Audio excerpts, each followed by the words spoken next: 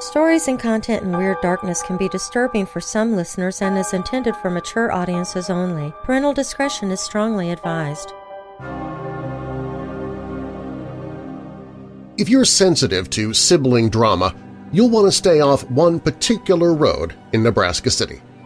This old road is the location of one of the most gruesome legends to come out of the wholesome farmlands of Nebraska. Nebraska City is an hour south of Omaha, Ask anyone in this town of 7,000 and you'll be cautioned to avoid Seven Sisters Road. Legend has it that almost a hundred years ago, a brother and his seven sisters were living in the hills outside the city. For reasons no one has ever known, one night the brother came home, palm-twitching mad, poisonous thoughts swirling through his mind. Slipping deeper and deeper into psychosis, the darkness finally overtook him, and, unimaginably, he dragged each one of his innocent sisters to a separate hilltop and hung them all. Locals now warn unsuspecting visitors that strange things happen on the road that curves through those seven forlorn hills. Many brave souls who have dared to drive here report cars suddenly drained of power, engines stalling, and headlights dimming as if in warning to get away. These hills are not a place to be after dark, but if you insist, and you park your car out on the road long enough, you may just hear the wailing screams of those seven sisters out in the distance. I'm Darren Marlar, and this is Weird Darkness.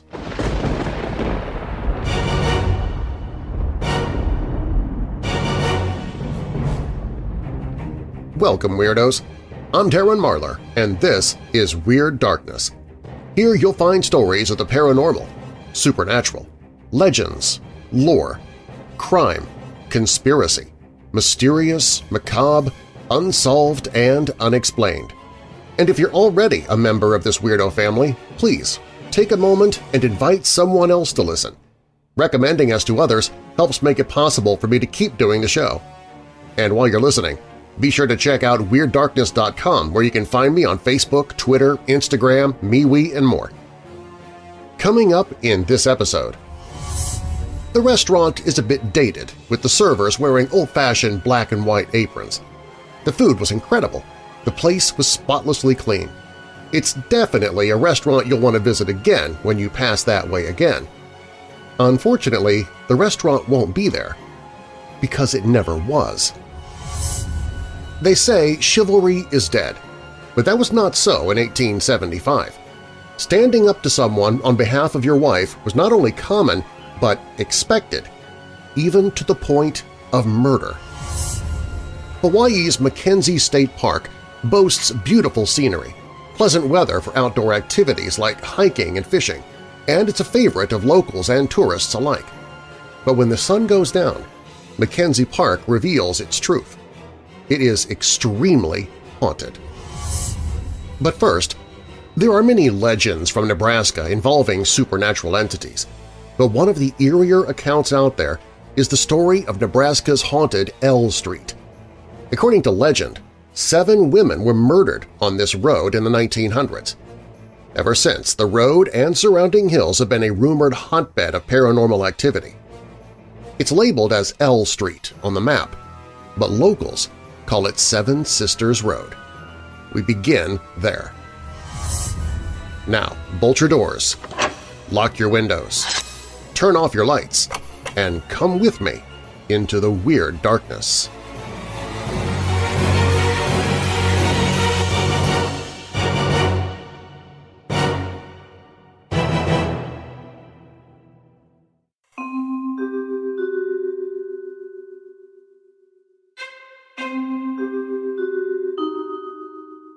There is an old, dark, historical event that's been kept in dark secrecy, locked behind every door in an old urban city, Nebraska City, Nebraska. Nebraska City is known as the home of Arbor Day due to its close proximity to Arbor Lodge, home of the first Secretary of Agriculture of the United States, J. Sterling Morton, who enthusiastically promoted the planting of trees on the prairie for shade, fruit, and windbreaks. The National Arbor Day Foundation has its headquarters near his home in Nebraska City. slaves were first bought and sold in the 1850s in Nebraska City. In 1854, the Kansas-Nebraska Act allowed legal settlement in the regional area.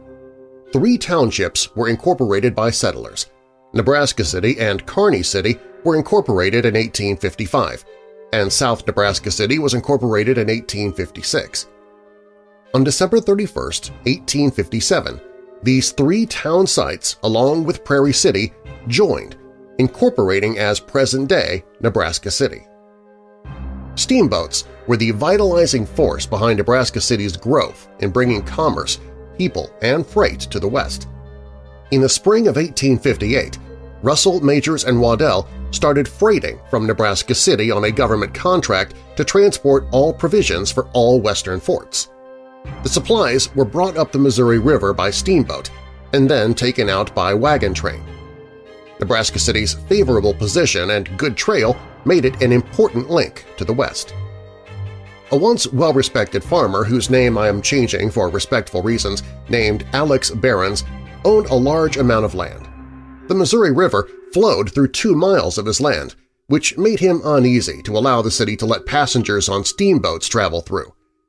He would not give up his rights to do so, even though the city was willing to pay a large sum to buy the property. Alex had seven sisters, whose names have also been changed, who all but one never married. From youngest to oldest was Heather, Sarah, Sue, Mandy, Erica, and Betty. The oldest one who was married was Mrs. Gloria Boyd. All seven of his sisters lived together after the death of Gloria's husband who died of the flu. Together, they worked as teachers, store clerks, bartender, and every night would work in the fields to harvest corn when the seasons were right. It was a tough time for them, but the people of Nebraska City did whatever they could to help out. Alex argued with the court that under any circumstances he will not allow the city to take away his land and or allow any steamboats to port illegally through his owned portion of the river. The court testified that no person shall own property of the river, and it was given to all right to travelers to cross through. Alex again testified and fought with the system. He swore that he will have his revenge upon anyone who steamboats through his land. At harsh times, the steamboat traveled but once a week. Work was lacking and people were beginning to run dry of resources and or work, but people still managed to travel by steamboat from time to time. As for Alex's revenge, every time he spotted a steamboat across his portion of the river, he would become outraged with anger.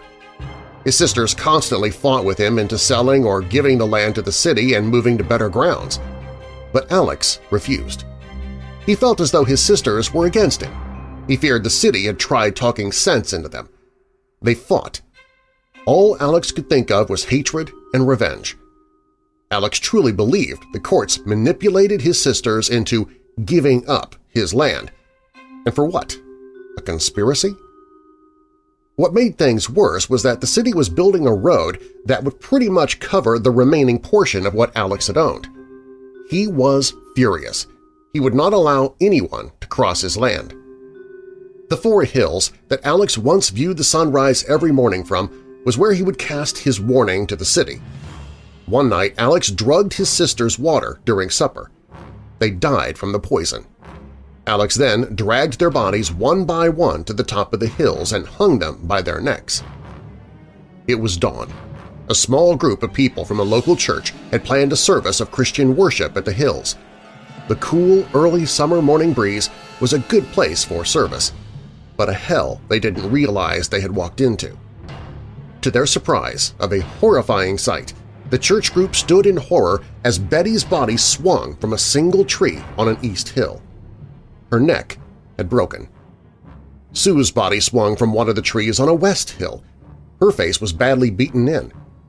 Mandy and Erica's bodies both swung from two different trees on a northwestern hill, while Heather and Sarah's bodies swung from a tree on a northeastern hill.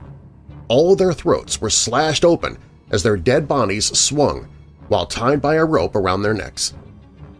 Later, Gloria's body was found by city officials, hanging by her feet in a tree on a 5th and Center Hill approximately 60 yards from the other bodies. From a distance, They could see that her stomach was cut open with her intestines hanging out. After shooing away wild crows and a dog, the sheriff soon discovered another body, dead on the ground under Gloria's swinging corpse. It was her unborn child. Gloria was seven months pregnant. Alex was later executed after his confession of his murderous actions. He warned the court that all he wanted was to keep the promise that he gave his father when he once owned the land before it was handed down to him. Do not give away my land that I worked so hard for no matter what the cause. But did that give a reason as to killing his sisters? Seven Sisters Road was built through the hills years after the rumored murders, and the trees that had displayed the sisters' bodies were supposedly chopped down. Perhaps because their places of death were disturbed, as soon as the road opened, people began reporting supernatural occurrences. Today, people call that road Seven Sisters Road. At night, passing vehicles' headlights had flickered or burned out. Cars and trucks of all sizes had stalled or broken down to unexplainable causes. Many visitors to Seven Sisters Road say they hear the eerie sound of bells ringing. The sound supposedly comes from an old cemetery and has been known to last for 30 minutes, there's no explanation for the screams and pleas. One traveler said that on a trip through Nebraska City, he heard the story of Seven Sisters Road at a local diner. Curious, he decided to drive up to the hills himself. When he turned the radio on, the Doors song This Is the End was playing. While likely just a coincidence, the traveler was spooked enough to turn around right there. If you visit the spot at night, you may hear screams, Many say they do. They are loud and nearby, yet just out of reach. And these high-pitched, piercing screams aren't the only phenomena associated with this legend. Headlights dim, speedometers freeze, windows roll up and down on their own, cell service drops, the wind changes and shadowy figures dart around in the darkness. Some have heard those bells, others have seen red eyes in the shadows. In November 1968, a series of strange reports were made along this road. Every night for a week, a deputy responded to calls about a monster in the hills. Around 11 p.m., the monster would come alive, according to a Nebraska City News Press account from that year. At six feet tall, the monster was said to resemble a bear with a wolf face. One account, told by locals and referenced in the 1968 article, was particularly jarring. A group of teenagers were partying in the area when they saw glowing red eyes in the distance. They tore off down the gravel road, kicking up rocks as they sped off. The beast, barreling after, grabbed hold of the bumper and stopped the car with such force that the back window shattered, locals say. According to the article, one person reported that a boy was grabbed by the monster, scratched up and thrown in a ditch. Half a century later, the legend is still alive. Another to experience the phenomenon is Cheryl Ann Fletcher. She saw the bodies hanging by nooses from the trees, their chests blown open by gunshots. Seven hung there, dangling above the graveyard in the woods. The other people walking with her on that day saw only trees and leaves, but to Cheryl Ann Fletcher this was no hallucination. It was clear as day, as if it were you and me standing right here, said Fletcher, a medium based in Lincoln. There were seven bodies, males and females mixed. The one that captured my attention was a little boy who was blond. He was about seven years old. Fletcher's account is one of many you'll hear from those around Nebraska City who have visited the site near Seven Sisters Road. For some, it's a ghost story to tell the kids, something to send a chill down their spine. For others, it's much more than just a scary story. During her first visit to the site, Fletcher said she felt the young boy's fingers wrap around her arm. When she looked down, she saw white depressions form on her skin, then felt a tug. The spirit pulled and gripped tighter, leading her toward a gravestone without inscription. There, at the weathered stone, the little boy introduced himself. Matthew. The two conversed until Fletcher left the graveyard and went home. It took me a couple of days to recover after the first initial meeting of the afterlife there, Fletcher said, but the second time… Fletcher returned, this time with a crew tasked with trying to document any paranormal activity. The property owner led Fletcher through the trees, beyond Matthew's grave, to an open field. There they stopped, and the landowner turned around, pointed to a tree with a small hunting stand, and shared a story. It was at this spot, one quiet day before dawn, where, armed with a bow and arrow, he watched as a creature walked upright, slowly, as if a wolf were stalking prey directly toward him. Through the fog, he saw only the beast's glowing red eyes, shining like rubies. Then the creature broke east and headed off over the hill and out of view. As his story progressed, Fletcher said she began to feel hot breath on her neck. Petrified, she stood still, I knew I would be face to face with something demonic, she said, so she walked away, never turning around, and hasn't been back since. It seems just about everyone living in the Nebraska City area has had an encounter at least once. At Nebraska City High School, steps away from Arbor Lodge State Historical Park, guidance assistant Don Liu beeps into the intercom. Attention students! Anybody who has a story about Seven Sisters needs to report to the guidance office. Students came running. Soon a crowd had formed around Liu's office, including 16-year-old Natalie Sturm.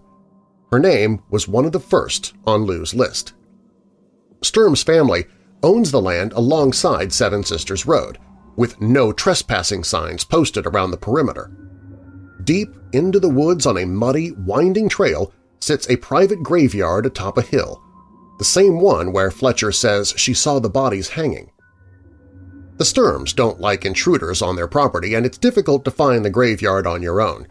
The Sturms lead tours for friends, family, and most curious passers-by. Natalie's dad estimated that he's given the same tour a hundred times. Many of Natalie's high school classmates have taken those tours. Some think the ghost stories are cool, some don't believe them. When people say it's not haunted down there, it makes me mad, Sturm said. She and her friend Sarah Sullivan have heard the bells, the screams, and the muffled whispers in the forest countless times, so often that they're almost used to it. Almost. One Halloween, Natalie's parents, Nate and Becky, were in the forest after dark. Changing winds, voices, shadows, they can handle all of that, They'll usually stick it out. But this night they fled when they heard a scream at point-blank range.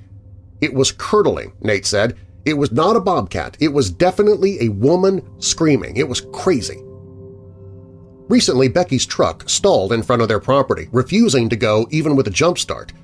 But in the morning, it fired right up.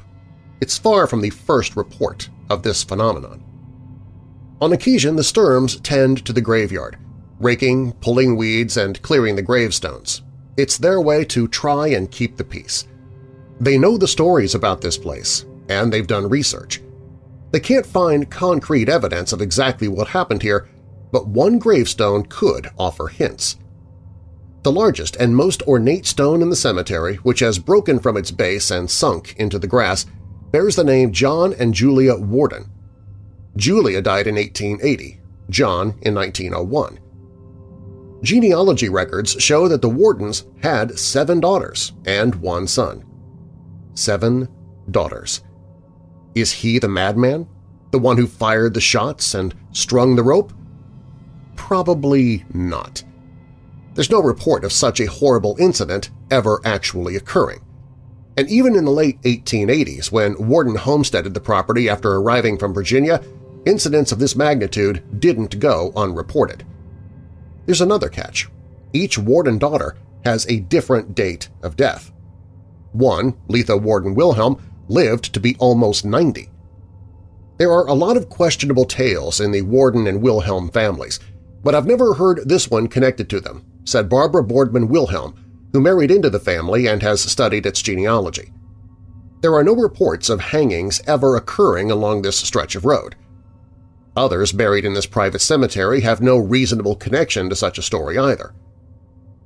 Otoe County Sheriff Jim Gress, who grew up less than a block from Seven Sisters Road, said there is no record of anyone getting seriously hurt or killed along the road. It never did scare me, Gress said. I know people, before they cut the hills down, they'd go over the hills pretty fast because they could get airborne with them. That was scary. But just because there is no evidence of a crime doesn't mean the tale is entirely fabricated either. Legends can warp over time in fireside games of telephone.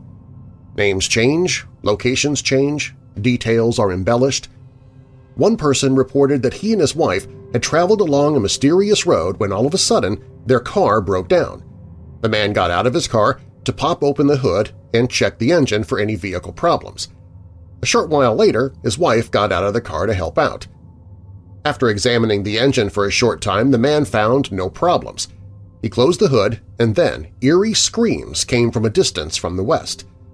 The evening sun was setting. The couple had looked to the west. From where the screams were coming from, they saw five hills aligned in a V shape.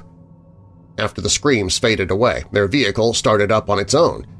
They quickly jumped back into the car and sped off. Since then, they claim that they have never driven down that road ever again. There might be a way to explain the legend of Seven Sisters Road.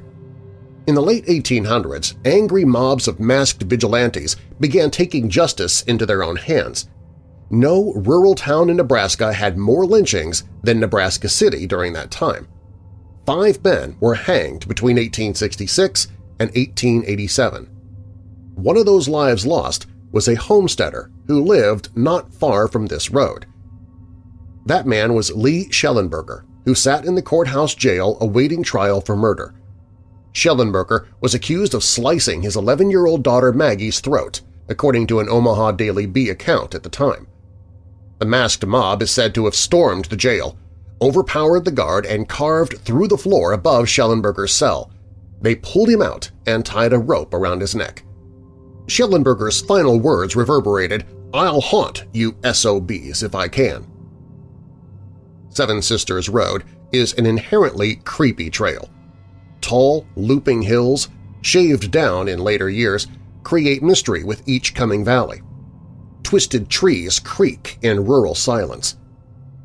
Whether or not ghosts and beasts truly haunt this land, it's the kind of place that deserves a backstory.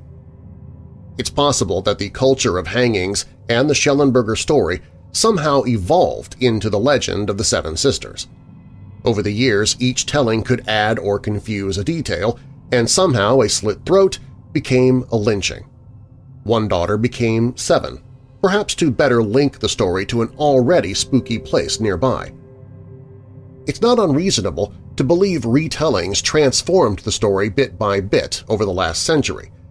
That the backstory can't be entirely proved or disproved adds to the mystique, helping keep the legend strong all these years.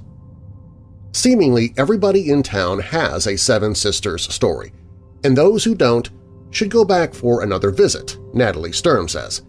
The second time is when it all starts. Three miles to the south of Nebraska City lays the Camp Creek Cemetery, where it is said that the Seven Sisters and Alex Behrens are buried. No report is documented of Gloria's baby being buried there, but one thing still remains a mystery. Hundreds of people have reported hearing a baby crying in the Camp Creek Cemetery, and then suddenly stops as if its cry had been cut silent. Today, only four of the supposed seven original hills are really prominent. The ghosts, however, seem to be as present as ever.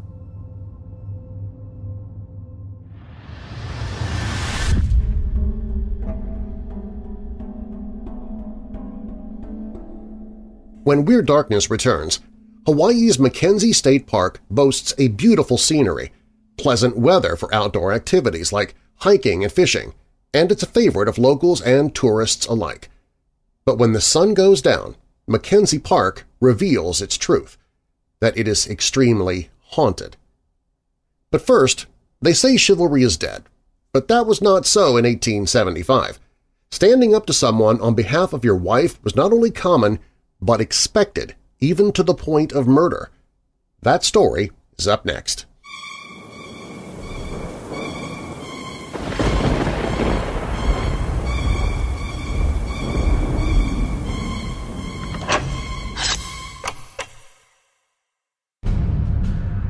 He has been spotted all over the world, but photographic evidence is lacking. as is any scientific proof, but he still exists and is still seen. And now you can search for Bigfoot every month in the Find Bigfoot calendar by Timothy Wayne Williams. Each month, you'll be captivated by an original Timothy Wayne Williams painting. Beautiful and captivating. But within each painting hides a monster. Bigfoot is hiding. Somewhere. In each painting. Search for Bigfoot and invite others to do so as well with the new Find Bigfoot calendar, available now at WeirdDarkness.com slash Bigfoot. That's WeirdDarkness.com slash Bigfoot.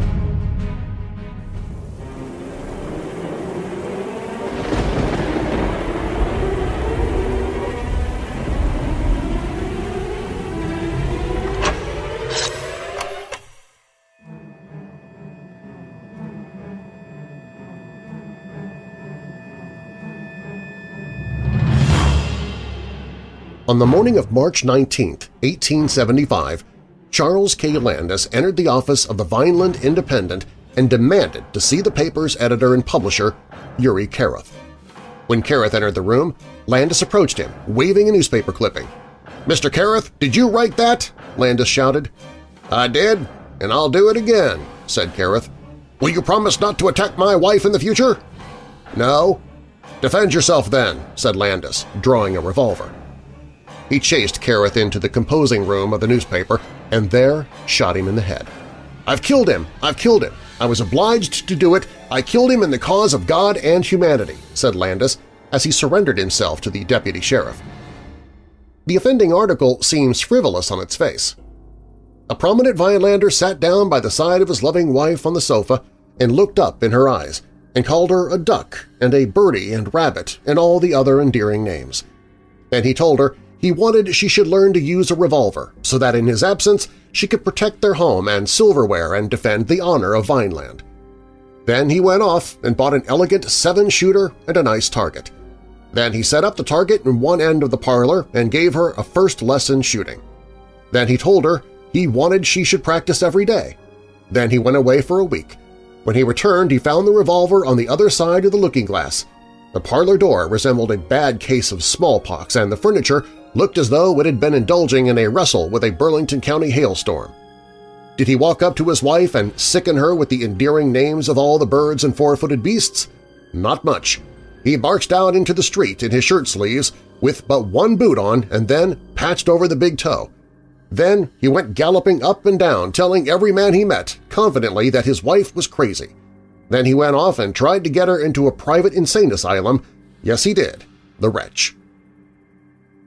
Though neither Landis nor his wife were mentioned by name in the article, everyone in Vineland knew who the article referred to.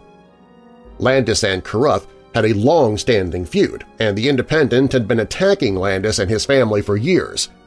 This was the last straw.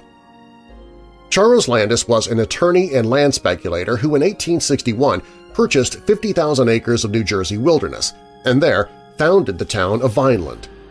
Persuasive advertising in America and Europe induced people to settle in the new town, but property deeds included many harsh conditions, most notably a prohibition on the sale of intoxicating liquors. Violation of any of the burdensome restrictions could result in forfeiture of the property. Landowners were hardly more than tenants of Landis. Despite the restrictions, Vineland grew quickly and by 1875 had a population of 15,000. But as the population increased, so did discontent in Vineland.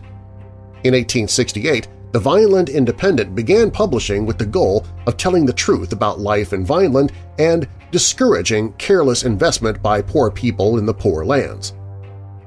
From the beginning, the Independent was in conflict with Charles Landis, but the real trouble began in 1870 when Uri Carruth purchased the newspaper. Uri Carruth, 50 years old in 1875, was an attorney with publishing experience in Michigan who was known to be a vindictive and combative man. Attacks on Landis and the Independent went beyond criticizing his policies and were meant to humiliate Landis and his family. He was neither witty nor humorous nor sarcastic nor bitter, said the Massachusetts spy of Carruth, but coarsely and stupidly impertinent, telling his paper silly, pointless stories of Landis and his family. In 1869, Landis had eloped with the daughter of Commodore Meade of the U.S. Navy. Mrs. Landis had a very excitable nature and had spent some time in an insane asylum. The mental problems of Mrs. Landis were well known in Vineland, and she was often the butt of Carruth's attempts at humor. Mrs. Landis found these articles so distressing that her husband worked to keep the Independent out of their house. Despite his precautions, copies of these articles were thrust under the door or thrown into windows. Mrs. Landis would read them and become dangerously violent, remaining insane for a week at a time. At the time of the offending article in 1875, Mrs. Landis was pregnant, and her doctor said that her reason would be permanently overthrown if the excitement were not removed. Charles Landis viewed Carruth's article as an attack on his wife's health and well-being. According to Landis's public statement, he became so distraught that he put a pistol to his head and pulled the trigger. When the gun misfired, he realized he was shooting the wrong man. He took his better pistol, an English revolver, and went to see Carruth. The shot did not kill Carruth. Though doctors continued to probe his skull looking for the bullet, it appeared that Carruth would recover and could live with the ball still in his head. Landis was released from jail on $50,000 bail and was trying to arrange a financial settlement with Carruth to drop the charges against him. He offered Carruth $5,000 and 380 acres of land, which Carruth indignantly refused. For the next four months, Carruth seemed to be improving physically, but his finances were in shambles. Friends said he and Landis had agreed to a settlement of $12,000 in cash and securities and were waiting for Landis's signature when Carruth took a turn for the worse and died on October 24th. Landis was rearrested and charged with first-degree murder. At his trial the following January, Landis gave a three-point defense. One, he was insane when he shot Carruth. Two, Carruth's death was not caused by the bullet but by unskilled treatment. And three, Carruth's provocation was such to reduce the offense to manslaughter. Evidence of insanity was slim, Witnesses testified to Landis's excited and nervous demeanor. To the second point, an autopsy showed the bullet had become completely encysted and had not caused Carruth's death. The immediate cause of death had been an abscess in the brain caused by physicians probing his head in the wrong area, looking for the bullet. Landis's attorneys were confident of victory and did not seriously address that third point. The jury acquitted Charles Landis of murder, and the community remained divided over whether the verdict was just. Some saw it as an example of unequal justice, where a rich man could get away with murder. Most, however, agreed with Forney's Weekly Press. Mr. Carruth's effort to be spicy, unbacked by ability to be anything more than grossly indecorous, brought him to his death, and the verdict of popular opinion already registered is served him right.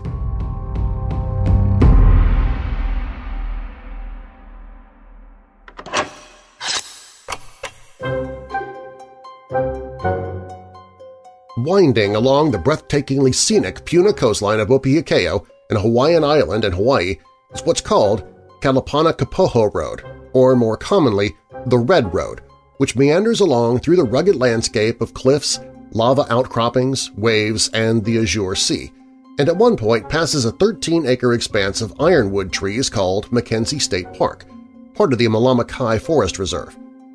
With its gorgeous vistas and peaceful atmosphere, the park is a popular place for visitors to enjoy picnicking, hiking, fishing, camping, and other outdoor activities in a secluded, quiet environment. However, while it is undoubtedly a place of great solitude and beauty, MacKenzie State Park is also known for its rather dark history and its sinister reputation as being one of the most haunted places in Hawaii. The park itself was officially established in the 1930s after the park's namesake, Ranger Albert J. MacKenzie, planted a grove of ironwood trees here. But the history of the area goes back to the 1800s. In the 1850s, numerous prison convicts were brought here from Honolulu for the purpose of working on sugar plantations, clearing land of the thick jungle undergrowth, and maintaining the historic coastal trail called the King's Highway, originally built by the former Hawaiian ruler King Kamehameha the Great in the early 1800s and which served as a major path for crossing the island at the time. At this point, the area was already long said by locals to be haunted by restless spirits the Hawaiians called the Uwani, as well as by spectral processions of ghostly figures with torches and drums called the Night Marchers, who were said to come out on nights of the full moon and unleash battle cries. Yet with the coming of the prisoners, the area would take on an even more gruesome reputation. Working conditions here were less than ideal with the inhospitable terrain, lack of clean water, disease, and harsh treatment they suffered all taking its toll. It's said that hundreds of these prisoners died over the years, their bodies typically unceremoniously buried in unmarked graves out in the wilderness. The ghosts of these prisoners have ever since been said to roam the park, typically appearing as the apparitions of filthy, pale, and bedraggled-looking phantom men, sickly and thin, wandering about carrying various work equipment only to vanish into thin air. There are also frequent reports of hikers hearing footsteps behind them when no one is there, or of seeing shadow figures moving about in the trees as if following them. And dogs are allegedly spooked at unseen threats or downright too terrified to go anywhere near the area. These spectral prisoners are also said to prowl about outside of the tents of campers in the park, whispering and walking about only for the tent occupant to look out and see no one there. And they have even been seen to set up their own camps, complete with campfires which fade out of existence if one is to approach. More frightening reports describe screams and groans emanating from the darkness, tents being shaken, or apparitions of the prisoners appearing within tents to attack the occupants before vanishing. A Hawaiian paranormal research organization called the Kahuna Research Group investigated the park in 2013 and allegedly witnessed all manner of strange phenomena including weird EVP readings, strange anomalous images caught on camera, and even purportedly making contact with some of these spirits. One was apparently the ghost of a Portuguese prisoner called Louis, which allegedly spoke to the group via one of the team members, a spirit medium named Marcy Grover. She would say of this encounter, I immediately made contact with a spirit named Louis or Louis, who I sensed was a Portuguese prisoner laborer from the crew who built the park in the 1850s. He indicated there were four other such spirits there with him. He had created his own purgatory and would not go to the light due to his Catholic upbringing. He indicated that he had killed a fellow laborer due to lack of provisions. I believe he died a few weeks after that incident. After hours of seemingly playing tag with the spirits, someone suggested we go completely dark and use the small indicator lights on the ion detector only to note activity. And we had immediate success. I asked the spirits if they could light up the devices once for yes and twice for no, and we again had an immediate response. The device remained blank when no questions were asked. Adding to the park's ominous reputation and its ghosts are all of the strange accidents and crimes that have occurred here over the years, to the point that rumors have spread that it is actually a cursed place. Perhaps the most famous incident occurred at the park in 1980 when a couple was camping here and were attacked one evening by a mysterious intruder who savagely beat them, killing the man and seriously injuring the woman. No suspect has ever been found, and there has never been determined any motive for the gruesome, senseless crime. In 1993, there was also the tragic death of a 16-year-old girl who was beaten and sexually assaulted by three men before being thrown over a cliff into the sea while she was still alive. Her body has never been found. In 2008, there was the strange case of the body of a local surfer found at the base of a cliff by the cast and crew of the film The Tempest, which was shooting on location at MacKenzie State Park. The man had reportedly been shot many times but no one has ever been arrested in connection with the crime. On top of these unsolved crimes are the many drownings that have occurred here over the years, although this is most likely due to the rough waves and strong currents. There are warnings posted against swimming, but people do it anyway, and fishermen on the rocks are sometimes swept out to sea by sudden, powerful waves, with many of the bodies never found. All of this death and violent history stands in stark contrast to the otherwise enchanting beauty of this place. It also ensures that there are plenty of spooky rumors and phenomena to go around. In addition to the ancient spirits, night marchers, and apparitions of dead prisoners here, mysterious lights or fireballs are often seen floating about through the twisted and gnarled ironwood trees or even bobbing about on the waves of the nearby sea, and there are many reports of voices and howls issuing forth from the area's many lava tubes. It is all rather interesting considering that with the sheer natural splendor of the park, it looks more like something out of a travel brochure and one of the last places one might expect to be so intensely haunted. Indeed, many visitors have no idea about any of this, making it all the more startling when they encounter these strange phenomena for themselves. Whether any of the stories of ghosts are true or not, MacKenzie State Park is certainly a place of great beauty under which a certain darkness pulses. Coming up, the restaurant is a bit dated, with the servers wearing old-fashioned black and white aprons. The food was incredible. The place was spotlessly clean. It's definitely a restaurant you'll want to visit when you pass that way again. Unfortunately, the restaurant won't be there. Because it never was. That story when Weird Darkness returns.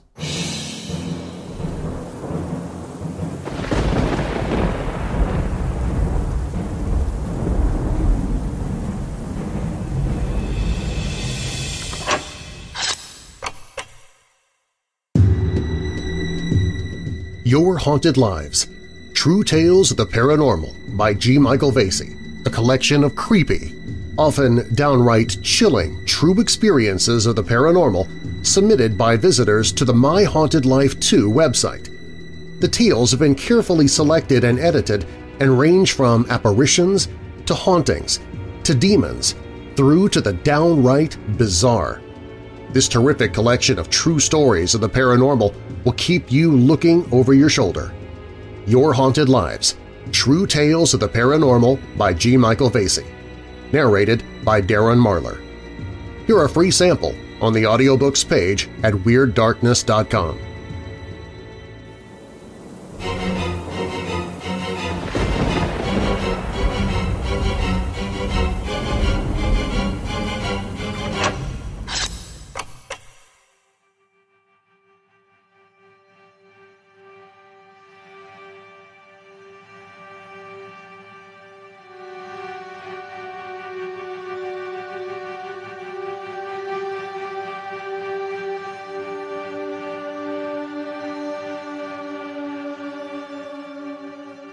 There are many accounts of unexplained and unexpected sightings of humans, buildings, and events reported by people who journeyed through time by unknown means.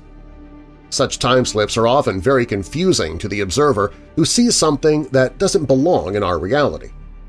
Nevertheless, studies of time slips can eventually give us a better understanding of the universe and our place in it. How can something from a different time and place be right there before you only to be gone without a trace later. People who experience time slips say everything they saw seemed as real as the physical world we live in right now. Did these people enter another dimension through an invisible barrier? Many scientists are convinced there can be countless invisible worlds coexisting next to our own. The parallel universe theory is still just a theory, but our knowledge of space-time is still limited. Many people who've experienced time slips are often reluctant to come forward and share their stories for fear of being ridiculed or labeled crazy. It's worth remembering that contrary to what some think, such time slips have not only been reported in modern times. Accounts of perplexing time slips have been recorded throughout history, and there are many stories in the Quran, Bible, and other ancient texts that tell of these stories, not to mention several old myths and legends. This curious event took place in March 1959 in Wyoming, USA.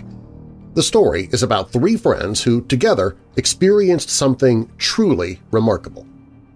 Bob Wetzel, who was stationed at Lowry Air Force Base in Denver, Colorado, was traveling together with John and Dee Greeley to visit Bob's wife Sharon, who lived in Worland.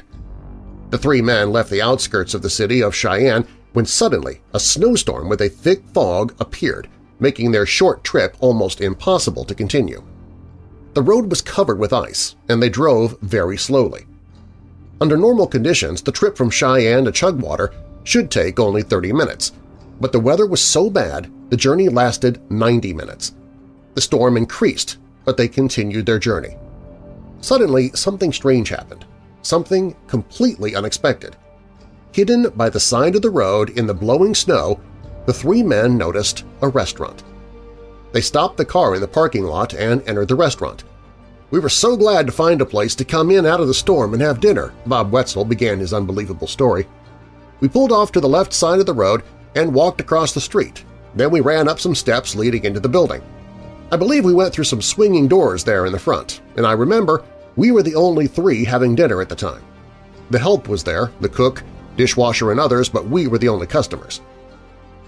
The restaurant was clean, and the staff consisted of two young women dressed in long white dresses with black and white aprons. Being hungry and exhausted, the three men ordered steaks, chicken, and beer. The meal was delicious and everything seemed normal. There was no reason to suspect this was an unusual restaurant.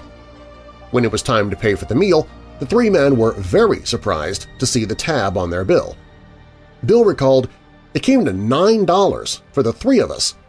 I was so pleased I left five $1 bills as a tip and you should have seen how surprised the waitresses were. They thanked me, walked us to the door, and told us to be careful since it was still snowing. The three friends continued their journey to Sharon. Weather conditions were much better now, and they made it to Worland with no difficulties. When we got there, we told my wife Sharon and her parents about the nice restaurant we'd found, and so we decided to stop there again on our way back to Denver. When Sharon made the return trip with us, the weather was clear and we had no trouble getting to Chugwater. This was before the highways were fixed, and you had to drive right through the middle of town. I remember that as we had come down the hill from Denver heading north, the restaurant had been the third or fourth business on the left-hand side of the street. Once Bob and his wife reached the spot where the restaurant was supposed to be located, there was a problem. The restaurant wasn't there any longer. Bob decided to find out why he couldn't see the building anywhere and headed over to a local hamburger stand to get some information. He spoke to an elderly local man whose name was Charlie and told him about his unbelievable experience. The man was very surprised. Are you sure this was where you were? I said, I'm positive. That's right where I parked. When was this? Charlie asked with a funny look on his face. Eight to ten days ago, I told him. And then he dropped the bombshell. Son, the place that you described burned down years and years ago, and this has been a vacant lot since then. There's no way, I said. We were just in there. I began to describe both of the waitresses who had served us. Son, the man said again, that place burned down and the two people you described perished in the fire. But that was years and years ago. Bob has often thought about the mysterious restaurant that vanished into thin air. Like most people who experience time slips, Bob felt everything seemed real. Nothing was ghost-like at all.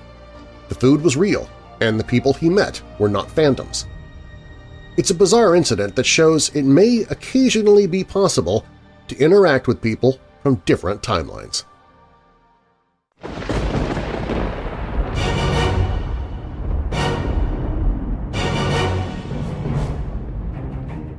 Thanks for listening. Feel free to email me anytime with your questions or comments at darren at WeirdDarkness.com. Darren is D-A-R-R-E-N. You can also find all of my social media and a link to the Weird Darkness Weirdos Facebook group on the contact page of the website. If you're listening to Weird Darkness on the radio, on a streaming station, or on YouTube, be sure to subscribe to Weird Darkness in your favorite podcast app too. And share Weird Darkness with somebody you know who loves the paranormal or strange stories, true crime, monsters, or unsolved mysteries like you do. Do you have a dark tale to tell of your own? click on Tell Your Story on the website and I might use it in a future episode. All stories in Weird Darkness are purported to be true unless stated otherwise, and you can find source links or links to the authors in the show notes. The Terror of Seven Sisters Road was written by Sarah Buchholz for Antique Archaeology, Chris Peters for the Omaha World Herald, Nick Downs, and Aaron Wisty for Graveyard Shift. Tragedy at Vineland was by Robert Wilhelm for Murder by Gaslight. The Restaurant That Disappeared is by Ellen Lloyd for Message to Eagle. And Hawaii's Haunted MacKenzie Park was written by Brent Swancer for Mysterious Universe. Weird Darkness is a production of Marlar House Productions. And now that we're coming out of the dark, I'll leave you with a little light. 1 Chronicles 16 verse 34 Give thanks to the Lord, for He is good. His love endures forever. And a final thought.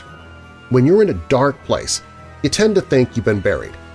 Perhaps you've been planted. Bloom. I'm Darren Marlar. Thanks for joining me in the Weird Darkness.